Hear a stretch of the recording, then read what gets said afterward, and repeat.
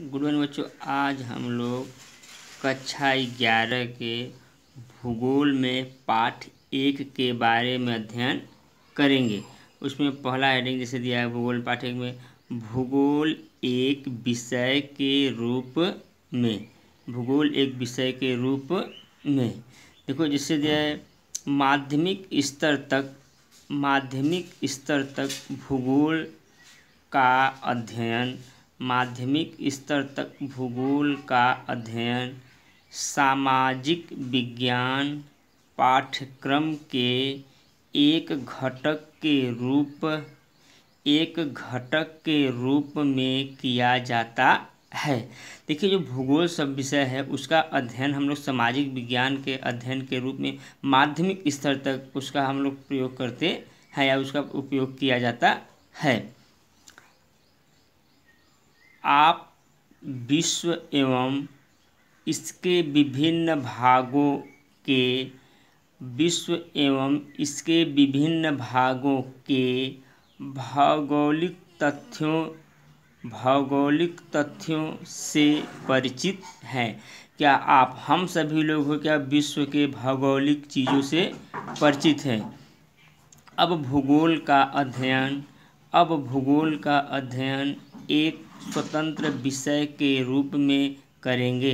अब हम सभी लोग जो माध्यमिक स्तर पर है, भूगोल का अध्ययन एक स्वतंत्र विषय के रूप में करेंगे तथा पृथ्वी के भौतिक पर्यावरण तथा पृथ्वी के भौतिक, पृथ्वी के भौतिक पर्या, भौतिक वातावरण, मानवीय क्रियाओं एवं उनके अंतः क्रियात्मक संबंध के विषय में जानकारी प्राप्त करेंगे।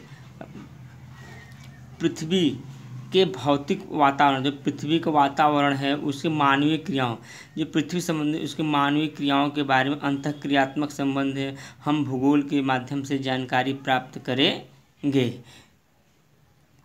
दूसरा हेडिंग हम लोग चलते हैं।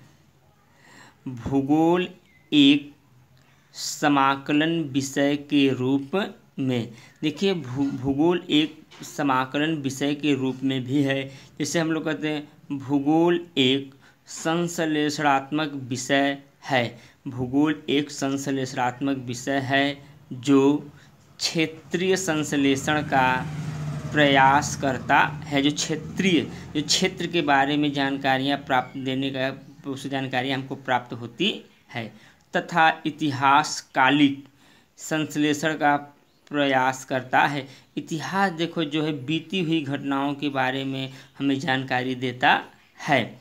इसके उपागम की प्रकृति समग्रात्म, समग्रात्मक होती है। इसके उपागम की प्रकृति समग्रात्मक होती है। यह इस तथ्य को मानता है कि यह इस तथ्य को मानता है कि विश्व एक विश्व एक परस्पर निर्भर तंत्र है। देखिए, यह एक मानता है जो भूगोल एक ऐसा प्राकृतिक समग्र है जो विश्व एक परस्पर निर्भर तंत्र है। यदि हम विश्व की, यदि हम विश्व की प्रमुख ऐतिहासिक घटनाओं का विवेचन करें तो यदि हम विश्व की प्रमुख ऐतिहासिक घटनाओं का विवेचन करें तो उनमें से प्रत्येक को भौगोलिक व्याख्या की जा सकती है।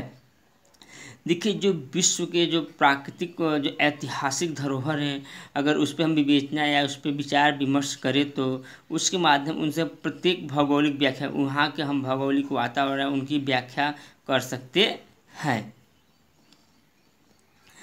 जैसे कर सकते हैं। भारत में हिमालय, जैसे देखिए भारत में हिमालय एक महान अवरोधक के रूप में देश की रक्षा करता है। देखिए जैसे हिमालय पर्वत हुआ, भाई, हमारे उत्तर में जो हिमालय पर्वत है, एक महान अवरोधक देश की रक्षा करता है। परंतु उसका भौगोलिक देखो, वहाँ का वातावरण जो वहाँ के हम जानकारी प्राप्त होते हैं जैसे वो जैसे चीन से आने वाली जो ठंडी हवाओं भी होती है उन वह हिमालय पर्वत जो था अवरोधक उसको रोकता है रोकता है। परंतु उसमें विद्यमान दर्रे मध्य एशिया के, उसमें विद्यमान दर्रे मध्य एशिया के आक्रमणकर्ताओं एवं प्रव्रजकों को मार्ग की सुविधा देते रहे। हैं। देखिए, जो उसमें दर्रे हैं, जो उन्हीं दर्रों से होकर जो विदेशी आक्रमणकारी भारत में आते थे, उन्हीं हिमालय पर्वत के उन्हीं दर्रों से होकर वो भारत में आते थे। प्रत्येक भौगोलिक तथ्य, प्रत्येक भौगोलिक तथ्य समय के साथ परिवर्तित होता रहता है। देखिए, भौगोलिक तथ्य जो है वातावरण और समय के अनुसार क्या होता परिवर्तन होता रहता है, क्योंकि समय के अनुसार ऑटोमेटिक परिवर्तन होता रहता है, तथा समय के परिप्रेक्ष्य में उसकी व्याख्या की जा सकती है। समय के अनुसार वहाँ की जो चीज़ें हैं, उनकी व्याख्या की जा सकती है। भौगो, भौतिक भूगोल एवं प्राकृतिक विज्ञान। भौतिक भूगोल एवं प्राकृतिक विज्ञान। भौतिक भूगोल की सभी शाखाएँ जैसे, जैसा कि भौतिक भूगोल की सभी शाखाएँ जैसा कि रेखा चित्र में दर्शाया गया है। भौतिक भूगोल की सभी शाखाएँ जैसा कि रेखा चित्र में दर्शाया गया है। प्राकृतिक विज्ञान की अंतरा पृष्ठ है। प्राकृतिक विज्ञान की अंतरा पृष्ठ है। परंपरागत परंपरागत जो जो हमेशा चलता रहता है। परंपरागत जो होती है, भौतिक भूगोल, मौसम विज्ञान, जल विज्ञान, मृदा विज्ञान से संबंधित है। देखिए, जो पर जो भौतिक विज्ञान जो प्राकृतिक विज्ञान के अंतरा पृष्ठ है, वो परंपरागत जो हमेशा मतलब चलती आती है वो एक दूसरे पर निर्भर रहता है। जैसे भौतिक भूगोल हुआ मौसम विज्ञान जल विज्ञान मृदा विज्ञान से संबंधित होता है। जल विज्ञान मृदा विज्ञान से संबंधित होता है क्योंकि ये अप, अपनी सूचनाएँ क्योंकि ये अपनी सूचनाएँ इन्हीं इन्हीं विज्ञानों से प्राप्त करते हैं। क्योंकि जो होते ये भौतिक भूगोल जो, ये अपनी सूचनाएँ होते हैं, इन्हीं विज्ञानों से प्राप्त करते हैं। जैव भूगोल, वनस्पति, जैव भूगोल, वनस्पति, शास्त्र जीव विज्ञान तथा शास्त्र जीव विज्ञान तथा पारिस्थितिकीय विज्ञान से अत्यधिक निकटता से जुड़ा है। पारिस्थितिकी विज्ञान से अत्य अधिक निकटता से जुड़ा है। ये दोनों जो होते हैं, जैसे जैव भूगोल हुआ, जैसे जैव भूगोल हुआ, वनस्पति शास्त्र है, जीव विज्ञान तथा पारिस्थितिकी विज्ञान से अत्यधिक निकटता से जुड़ा है। अत्यधिक निकटता से जुड़ा हुआ है।